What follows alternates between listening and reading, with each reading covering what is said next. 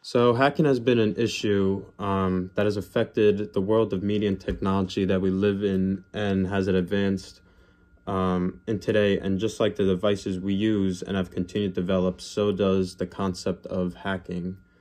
Um, and there's people in places like Russia and India across the world that will target people in America like us and have incentive to steal your identity, uh, steal your personal information steal all the stuff that you put on social media that you never think will actually end up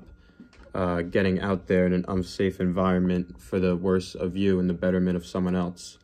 Yet it happens every day, all day, and there's always new ways of developing new hacking devices um, for the new, you know, trends and technical media devices that we use. Um, and the reason they, they these people do this is because they make so much money off you know stealing your identity and all this personal information that evidently harms you and only helps them. Um, and that's why this hacking corporation and enterprise has continued to grow over the years and throughout all over the world um, because of the media we use um, and because they're not stopped. And I don't know if they will be stopped but there's only us to help each other um, crack down on on this hacking activity, and it's what makes us vulnerable to the media uh, and our personal lives and info that we put into it. Um, and there's people of all stature that we see and all different types of power that have been hacked and can be hacked. You know, there's no um, way of knowing or or no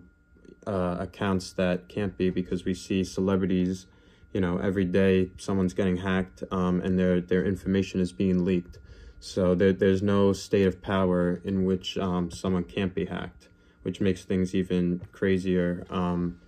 and in ways where we need to help each other out. Um, and ways to prevent hacking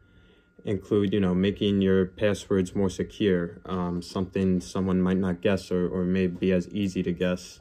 um, or using a password manager for your computers um, you know, helping out with not making sure